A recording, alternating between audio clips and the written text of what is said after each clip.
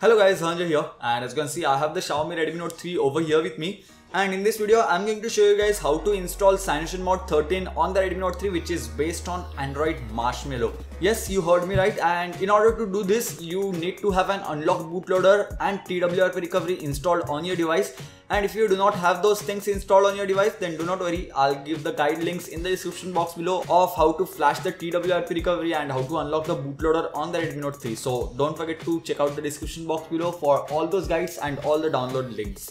So once you have flashed TWRP recovery go into the updater application over here. Then tap on these three dots over here. Select reboot to recovery mode and select reboot now. So as you can see we have successfully booted into the TWRP recovery now. And the first thing that you should do is backup the current ROM so that if anything goes wrong or if you want to revert back to MIUI then you can simply restore this backup and you will be back on MIUI or MIUI if you want to say that. So the backup is complete now. So simply hit the back button select wipe over here and select swipe to factory reset. This will wipe data, cache and Dalvik cache so you do not need to worry about anything else. Once again go back go back, select install over here and now select the CyanogenMod 13 zip file which we had copied earlier into the internal storage. Select swipe to confirm flash. This will flash the CyanogenMod 13 zip file and after this we need to flash the G app zip file or the GAP zip file which contains all the Google apps, Play Store and Google services which is very very necessary.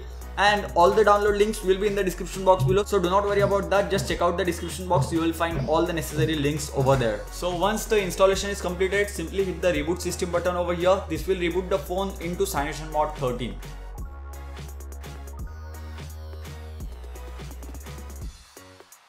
So guys, as you can see, we have successfully booted into the ROM now. So first thing that you should do is go into settings, then go into about phone, and as you can see android version is android 6.0.1 or android marshmallow uh, yeah both are the same things basically. And the CyanogenMod version is 13 so it is based on marshmallow. That is why it is CyanogenMod 13 and we can play the game if we long press on this. Okay so here is the game which we have to play if we are showing off the android version. So and as this is CyanogenMod 13 you get tons and tons of customization options. So if you go into display and lights double tap to sleep is present over here. So simply double tap on the status bar.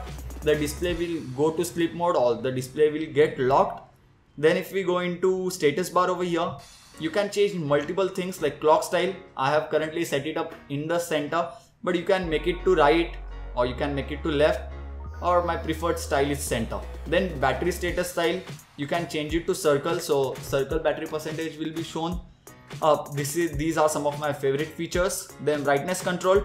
What you can do is simply hold over here and go to this side to increase the brightness or go to this side to decrease the brightness. So as you can see the brightness increases and then decreases if you move your finger on the status bar which is a very good. And these things are not available on MIUI or MIUI. Then there is themes option you can download tons and tons of themes guys and apply those on the CyanogenMod 13 ROM which is present over here.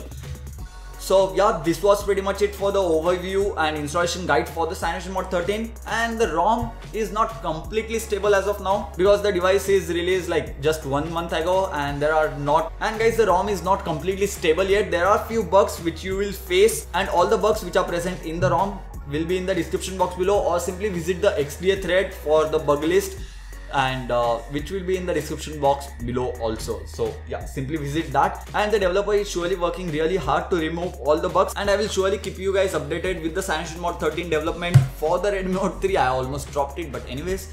So yeah don't forget to hit that subscribe button because whenever a very good ROM for the Redmi Note 3 comes a video on that is going to come on the channel. So don't forget to hit that subscribe button down below so yes, this is pretty much it for this video guys. Thank you for watching. Don't forget to hit the like button if you like this video and if you guys have any types of doubts, suggestions or queries regarding the Redmi Note 3 or the CyanogenMod 13, let me know about that in the comment section below. I will surely try to answer your queries. So yeah, thank you guys. Thank you for watching and don't forget to hit that subscribe button.